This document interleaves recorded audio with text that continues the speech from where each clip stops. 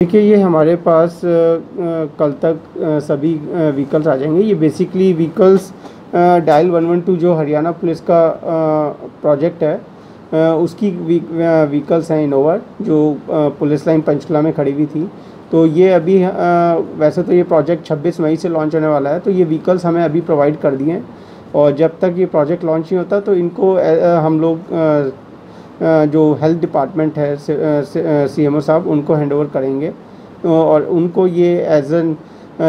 Patients को hospital ले जाना या हॉस्पिटल से घर छुड़वाना, उनके जो कोविड केयर सेंटर का कंट्रोल रूम है, उसमें, उसके थ्रू इनको पब्लिक यूज़ कर सकते हैं। सर कोविड की रोकथाम के लिए जैसे सामाजिक दूरी या फिर मास्क जो आपकी तरफ़ से कैंपेन चला जा रहा है किस तरह से लोगों को अवेयर कर रहे हैं और क्या सख्ती की जा रही है ग्राउंड देखिए हम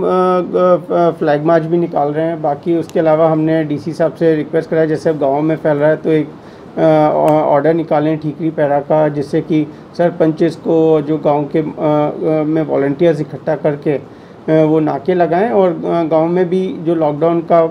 का सख्ती से पालना हो क्योंकि अनुमान गाँव में देखा गया है कि शहरों में तो फिर भी पालना हो रही है पर गाँव में अभी भी लोग जो कोविड के प्रोटोकॉल्स हैं, उनको फॉलो नहीं कर रहे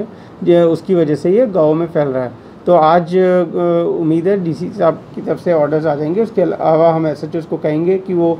हर एक गाँव में सरपंच और नर्बंदार और चौकीदार से मिलकर वॉल्टियर्स बनाएँ और गाँव में भी कोविड की जो प्रोटोकॉल्स हैं, उनको स्ट्रिक्टली फॉलो किया जाए।